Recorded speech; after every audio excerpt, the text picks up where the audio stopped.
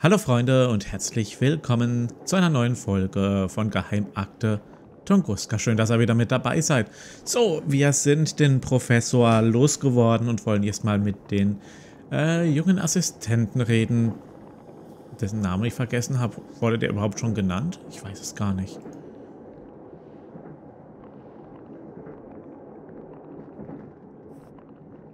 Puh, das war knapp. Gerade soeben noch die Menschheit vor dem furchtbaren Dr. Jekyll gerettet. Ja, vielen Dank. Jetzt ist das Arbeiten mit ihm deutlich entspannter. Ich schulde Ihnen was. Wenn Sie also Fragen haben. Alles darf ich Ihnen leider nicht sagen. Ich hoffe, Sie verstehen das. Klar, bin ja schon froh, dass ich mir überhaupt Ihre Arbeit hier ansehen darf. Eine Soldatin, die sich für die Wissenschaft interessiert, gibt's bestimmt auch nicht alle Tage, oder? Nein, und eine so schöne schon gar nicht. Oh, danke schön.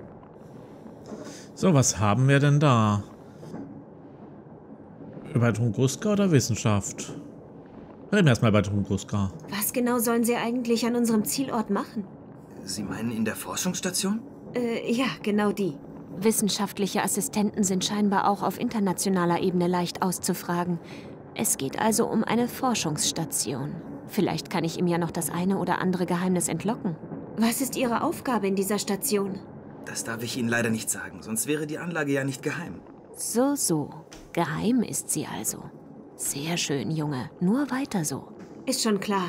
Aber vielleicht gibt es ja etwas, was nicht ganz so geheim ist. Ich habe zwar leider nur wenig Ahnung von Biologie und Chemie, aber faszinierend finde ich es schon. Ich kann da nur für das sprechen, was Dr. Lesniak und ich dort machen sollen. Klar. Die haben da ja vor Ewigkeiten schon rausgefunden, dass es in der Region abnormales Pflanzenwachstum gibt. Ist kein Geheimnis, stand ja überall in der Zeitung. Klar, natürlich. Und nun versuchen wir, dieses Wachstum kontrolliert zu beeinflussen. Faszinierend. Und mit welchem Ziel? Darüber darf ich leider nichts sagen. Aber stellen Sie sich nur mal vor, man könnte das Wachstum von Pflanzen beliebig manipulieren. Das würde auf einen Schlag das Hungerproblem in der Welt lösen. Wow, das hört sich in der Tat nach einem großen Ziel an. Sehen Sie? Und eine neue Dings. Ein neuer äh, Tagebucheintrag. Was ich noch fragen wollte. Moment, wenn Sie mich löchern, dann darf ich das aber auch. Oh ja, klar. Ist nicht persönlich gemeint. Also, warum werden da so viele Soldaten ins Sperrgebiet gebracht? Sperrgebiet? Ja, in die Forschungsstation und so. Ich meine, mit dem Material und den ganzen Leuten kann man ja einen kleinen Krieg führen. Ja, also, darüber darf ich leider nichts sagen. Ihr Wissenschaftler habt Anweisungen, wir haben die leider auch. Aha, verstehe. Ich erzähle Ihnen bereitwillig alles über unsere Experimente und kaum hab ich mal eine Frage, kommt sowas. Tut mir leid, ich würde ja gern was erzählen, aber ich weiß selber nur sehr wenig und was ich weiß, ist streng geheim. Ist nicht persönlich gemeint. Ja, ja, schon okay. Außerdem hat er auch nicht alles erzählt. Er hat auch gesagt, das eine ist geheim. Was er erzählt hat, das war eigentlich das, was auch schon in der Zeitung stand. Äh, von daher. Was Sie hier machen, sieht ja unglaublich kompliziert aus. Ja? Ist aber eigentlich ganz einfach. Die Pflanzenproben hier wurden einer Strahlung ausgesetzt, die der in der Tunguska-Region ähnelt. Die Dosis wurde erst einmal niedrig gehalten und dann immer weiter erhöht. Ich setze die Proben nun in diesem Kasten da drüben einer Flamme mit konstanter Temperatur aus und prüfe, ob was von der Pflanze übrig bleibt. Sie fackeln Grünzeug ab? Ja, so in der Art könnte man das sagen. Es gilt herauszufinden, ob ab einer bestimmten Strahlendosis der Schaden an der Pflanze nicht mehr zur absoluten Zerstörung der Zellstruktur führt. Hey, das hab ich sogar verstanden. Ich habe ja auch absichtlich zwei Drittel der Erklärungen weggelassen. Na toll. Da bin ich mal stolz auf meine wissenschaftlichen Fähigkeiten und Sie nehmen mir meine Illusionen gleich wieder. Tut mir leid. Ich werde dann mal wieder meine Runde machen. Alles klar, bis später. Eigentlich ein ganz, ähm, ganz, in, äh, wie soll ich sagen, äh, ganz in Ordnung ist der Typ. So, dann schauen wir mal kurz ins Tagebuch rein. Äh, waren wir da schon?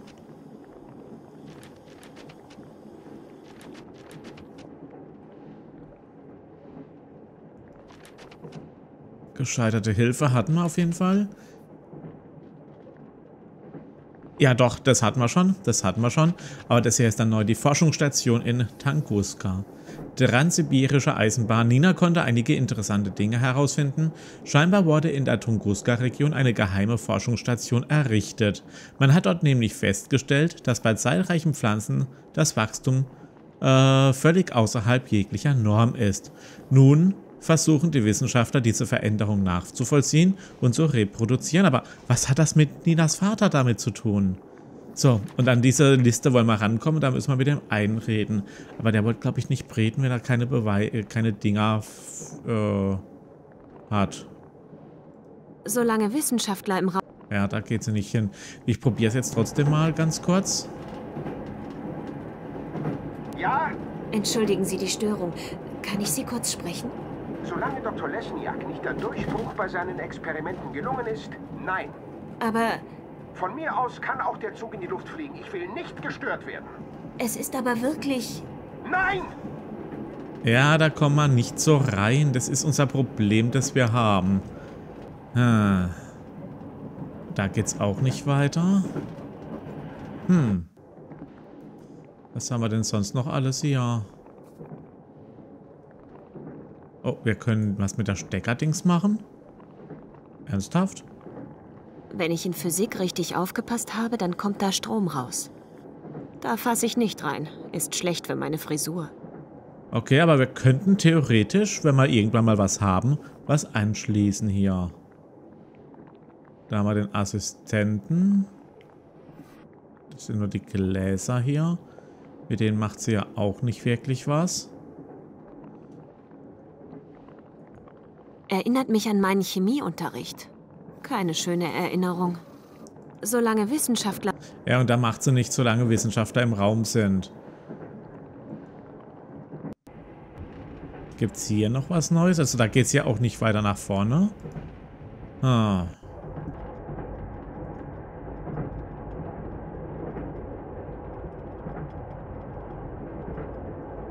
Ah. Okay. Da hast du auch nichts mehr Die drin? Tasche mit den Medikamenten des Soldaten. Wenn ich... Hm, hm, hm. Das sollten wir auch nicht mehr machen. Nö, also anscheinend müssen wir hier was machen, hätte ich gesagt. Die Frage ist nur was. Wahrscheinlich müssen wir den äh, Assistenten auch irgendwie loswerden.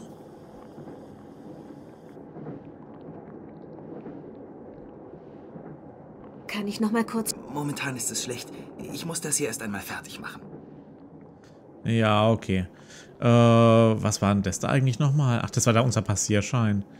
Kann ich den Stein irgendwie mit so Gläsern benutzen oder? Nee.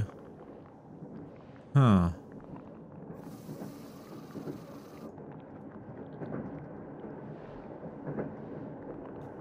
Ich weiß gerade nicht, wie wir was mal genau machen müssten, um äh, an den Dings da hinten ranzukommen.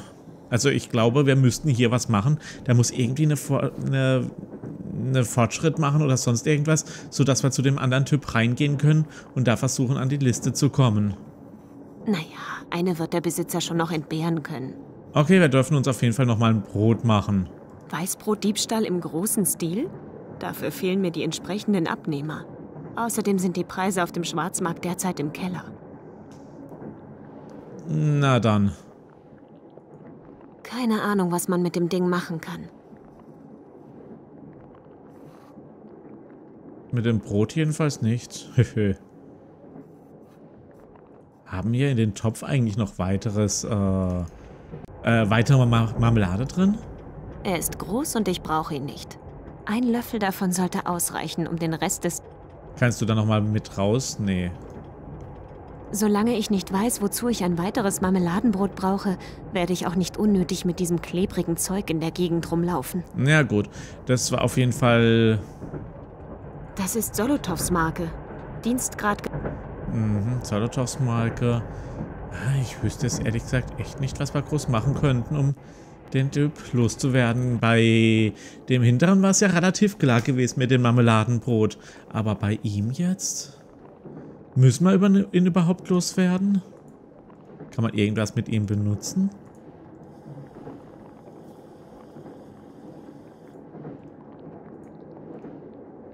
Ha. Kann ich das Brot mit irgendwas hier benutzen? Nee, die Flasche wahrscheinlich auch nicht.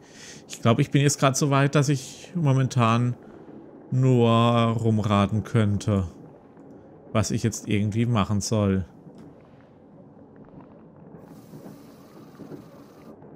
Das ist ein bisschen frustrierend. Nee, mit dem geht's auch nicht. Habe ich mir aber schon fast gedacht, dass da nichts geht.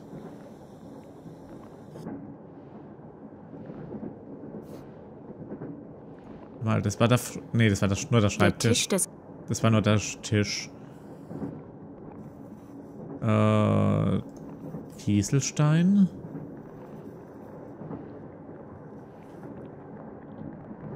Geht aber auch nichts. Smartphone. Ich sollte Max oder Oleg informieren, wo ich mich... Ja, nee, das geht noch nicht. Aber auch das hier geht nicht wirklich. Hm. Also anscheinend gehen unsere Gegenstände alle nicht, die wir hier haben. Also wir können nichts groß machen. Die Gegenstände miteinander benutzen ging ja auch nicht. Hm.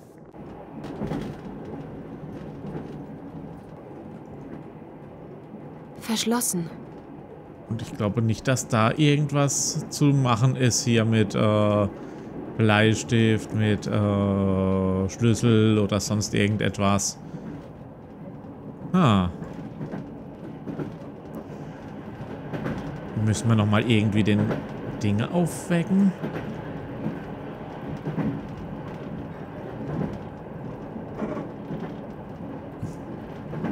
Die Tür ist mit einem großen Vorhänge. Ja, und die kriegen wir ja auch nicht so auf, schätze ich mal. Und da nochmal anklingeln, das bringt ja auch nichts. Ja, Entschuldigen Sie die Störung. Aber von mir. es ist... Nein! Ja, das geht auch nichts. Also hier können wir auch nicht wirklich was machen. Hä? Ich bin gerade etwas ratlos. Können wir die Lampe... Können wir nochmal das Licht anmachen? Nochmal sollte ich den Kerl besser nicht wecken, sonst dreht er noch komplett durch.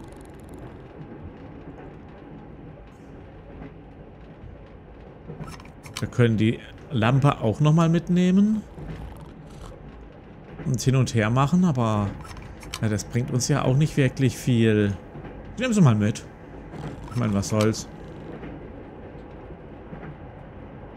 Die Tasche mit den Medikamenten des Soldaten. Wenn ich an... Sa Genau. Aber damit können wir bestimmt auch nicht wirklich was machen.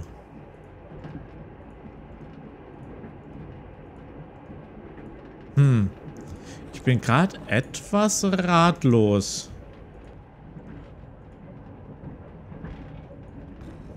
Scheint eine strategische Karte der Tunguska-Region zu sein. Ja, Fenster. Die Landschaft sieht immer gleich. Können wir auch nichts machen. Wenn er schläft, sieht er richtig friedlich. Den sollte ich besser nicht, weil irgendein Idiot ihn wegen irgendeiner Lappal... Ja, da haben wir aber auch nichts. Äh. Also ich wüsste gerade nicht, was wir machen sollen. Habt ihr da gerade eine Idee irgendwie? Also ich bin relativ ratlos gerade. Äh, selbst wenn ihr eine Idee habt, könnt ihr mir gerade im Moment nicht helfen, bis die Folge veröffentlicht wird. Ja, werde ich schon die Idee gehabt haben. Hm.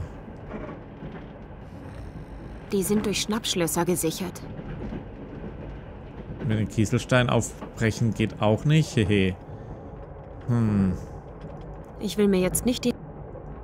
Hände waschen, das, das. Das haben wir ja schon probiert, das geht nicht. Ein Speiseplan. Heute ein Dienstplan von Fort... Das haben wir uns auch schon angeschaut. Nö, äh, ich hänge jetzt gerade komplett. Also, ich muss ganz ehrlich sagen, ich hänge gerade komplett. Ich habe keine Ahnung, was ich jetzt noch machen kann. Wahrscheinlich habe ich irgendwas... Da fasse ich nicht. Vielleicht habe ich irgendwo was übersehen. Da kann ich nichts machen, da kann ich nichts machen. Mit ihm kann ich nicht mehr reden. Analyse. Ich kann das ja auch nicht kaputt machen oder so irgendwas, dass ich da das Kieselstein hinschmeiß.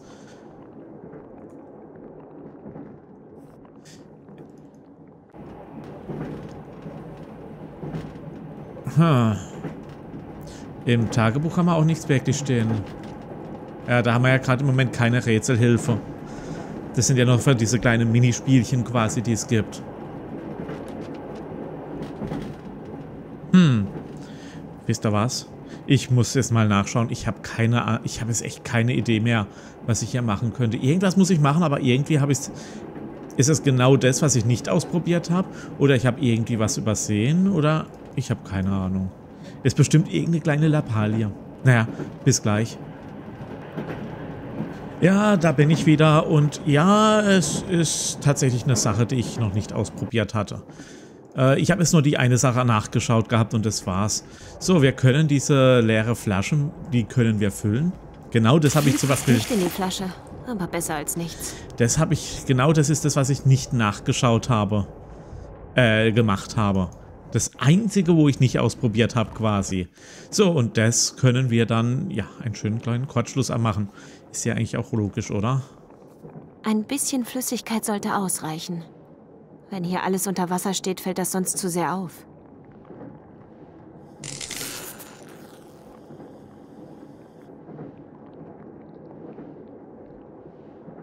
Mist, ausgerechnet jetzt fliegen hier die Sicherungen raus. Ich muss die Sicherungen wieder reindrehen. Passen Sie bitte so lange hier auf, dass keiner irgendwas anfasst? Klar, kein Problem. Machen wir. Ich werde ganz genau darauf achten, dass keiner hier irgendwas berührt. Keiner außer mir. So, jetzt ist auch der Assistenz weg. Sehr gut. Ich habe ja gesagt, der muss irgendwie weg. Aber dass man die Flasche da und da mit dem Kurzschluss... Ich meine, es ist logisch, aber ich bin absolut nicht drauf gekommen. Aber sowas von überhaupt nicht. So, dann können wir das hier mitnehmen. Wir können das mitnehmen. Der Tisch, der... Ich kenne mich mit sowas überhaupt nicht aus. Da lasse ich lieber die Finger davon. Okay, und was machen wir mit denen hier? Ich hol die Probe mal aus dem Glas. Ich hol die Probe mal aus dem Glas.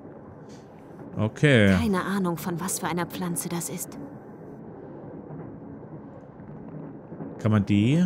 Nee, die kann man nicht irgendwie... Ah.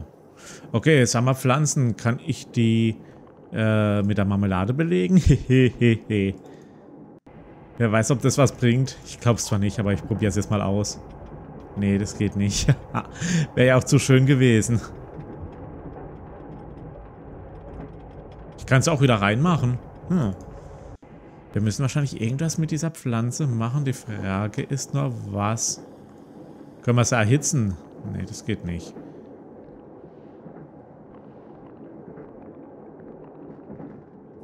Können wir es aufs Brot legen? Und dann essen?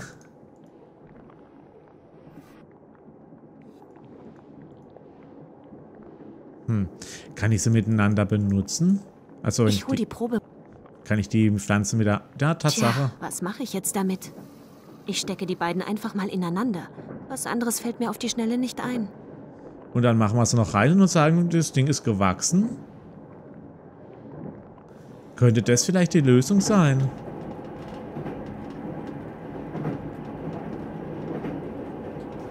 Ja? Entschuldigen Sie die Störung. Solange Dr. Lenz Aber Ah. es ist... Nein! Aber vielleicht muss ich sie einfach nur auf den Schreibtisch wieder zurückstellen. Ja, genau, dann kommt der Wissenschaftler und genau. Ist ja klar, dass wir das nicht machen sollen. Bräuchten, wie auch immer. Hallo?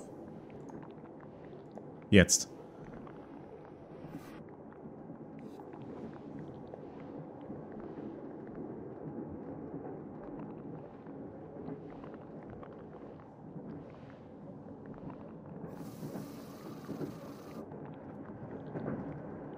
Okay.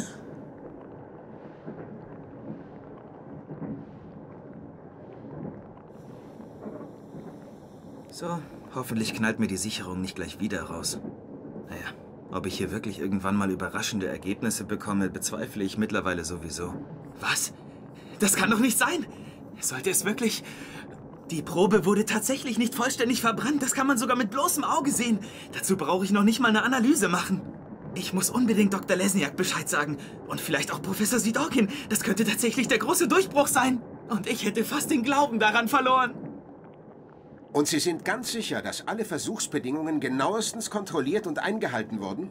Ich habe immer wieder Stichproben genommen und alles überprüft. Und für Alexei lege ich meine Hand ins Feuer. Ich arbeite schon seit Jahren mit ihm zusammen. Sie haben also die Experimente gemacht. Ist Ihnen irgendeine Veränderung aufgefallen? Was für eine Veränderung. Wir müssen alles genau prüfen.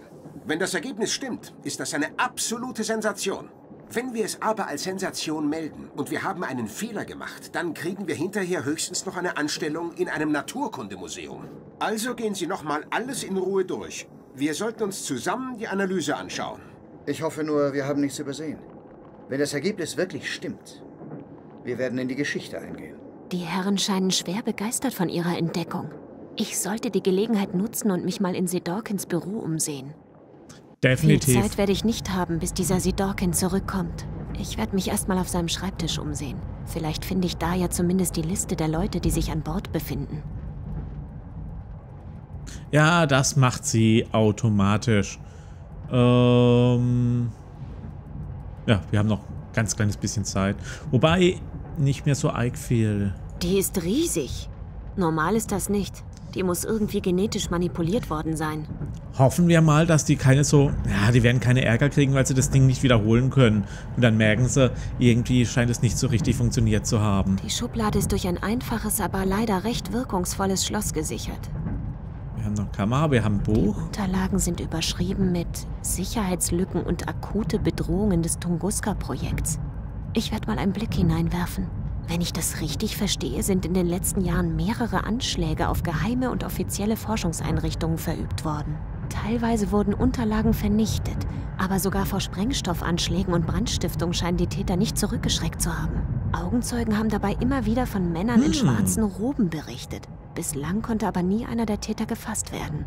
Der Geheimdienst FSB wurde daraufhin eingeschaltet, konnte aber bis heute keine konkreten Ermittlungserfolge vorweisen. Die Vermutung, dass es sich um politische Terroristen handelt, konnte nicht bestätigt werden. Derzeit geht man davon aus, dass es sich ebenso um eine religiös motivierte Sekte handeln könnte. Männer in schwarzen Kutten? Ob das die gleichen sind, die Eddie gesehen haben will? Wenn das stimmt, steckt mein Vater in noch größeren Schwierigkeiten, als ich befürchtet hatte. Ja, das hört sich danach an. Anschläge durch Sekte, transsibirische Eisenbahn. In Sedokins Büro liegen Unterlagen über akute Bedrohung des Tunguska-Projektes. Demnach sind in den letzten Jahren mehrere Anschläge auf Forschungseinrichtungen verübt worden. Teilweise wurden nur Unterlagen vernichtet, aber auch von Sprengstoffanschlägen und Brandstiftung ist die Rede. Augenzeugen haben dabei immer wieder von Männern in schwarzen Roben berichtet. Ob das die gleichen sind, die Eddie und die kleine Lisa in der Nähe des Museums in Berlin gesehen haben? So, was haben wir sonst noch hier? Wir haben noch einen Zettel. Auf dem Zettel steht, Dokumente bei jedem Verlassen des Zimmers im Safe deponieren. Unterzeichnet mit W-I-L. Wenn in diesem Safe auch die Mitarbeiterliste ist, sollte ich mich hier mal genauer umschauen. Vielleicht finde ich so auch raus, was genau in Tunguska vor sich geht und was mein Vater mit der ganzen Sache zu tun hat. Auf den Ordnern steht Tunguska-Projekt Fehleranalyse. Der obere Ordner ist für die Jahre 2000 bis 2003, der untere ab 2004. Damit werde ich so auf die Schnelle wohl nicht viel anfangen können. Nee, das würde zu lang dauern. ich's mir doch gedacht. Die kleine Kröte ist eine Schnüfflerin. Du bist mir schon in Moskau am Bahnhof unangenehm aufgefallen. Kröten bleiben halt auch in Verkleidung. Immer noch. Kröten. Aber keine Sorge. Wir werden uns jetzt ein wenig um dich kümmern. Oh, scheiße.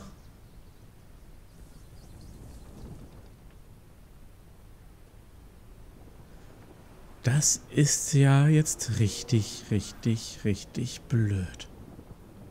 Was treibt sich dieser Kanski denn hier mitten in der Nacht rum? Vielleicht täuscht der Eindruck, aber ich habe bei dem Typen ein extrem ungutes Gefühl. Ich sollte mich auf jeden Fall nicht von ihm erwischen lassen. Die dicke Beule an seinem Hinterkopf wird er mit Sicherheit noch nicht vergessen haben. Endlich eine Antwort auf meine Anfrage. Dann bin ich mal gespannt, was mein irischer Kollege herausgefunden hat. Hallo Max. Es hat etwas gedauert, aber deine angeforderten Informationen waren nicht so leicht zu beschaffen. Es war auf jeden Fall gut, dass du mir das Original dieses Briefes geschickt hast. Doch dazu später mehr. Zunächst einmal was zu dieser irischen Gesellschaft aus dem Briefkopf. Diese Firma gehörte mal einem gewissen Ken Morangi und hatte irgendwas mit Pflanzendünger zu tun. Das Unternehmen wurde ganz plötzlich geschlossen, obwohl es wohl ziemlich gut lief. Mehr konnte ich darüber leider auch nicht rausfinden.